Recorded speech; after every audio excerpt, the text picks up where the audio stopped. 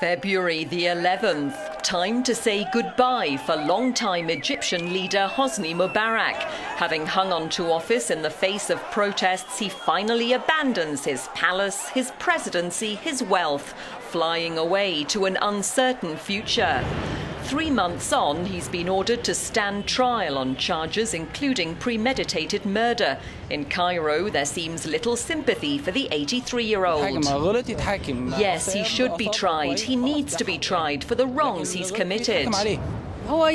He deserves a harsh punishment. He stole from us for 30 years. He robbed us of our lives. He stole the country's wealth.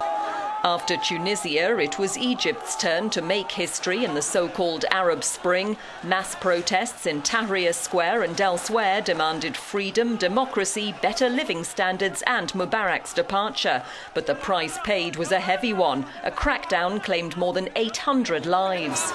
Ousting the president, though, was not enough. With years of pent up rage unleashed, Egyptians continued to demonstrate, this time demanding that the former first family be made to face justice.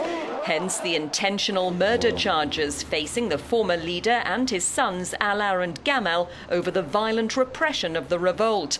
This, as well as allegations they abused their power to line their pockets. Mubarak's wife, Suzanne, has also been questioned amid claims the family amassed a fortune worth tens of billions of euros. While she's been released from custody, Alaa and Gamal Mubarak are behind bars in Cairo. Their fathers detained in hospital in the Red Sea resort of Sharm el Sheikh after suffering reported heart problems.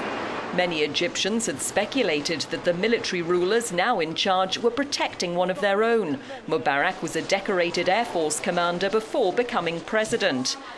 For 30 years, Hosni Mubarak was Egypt's figurehead, symbolizing the country's strength and stability. But for a new generation, not afraid to express themselves, he embodied the arrogance of power. They believe Mubarak must be tried like a common criminal, with the death penalty hanging over him.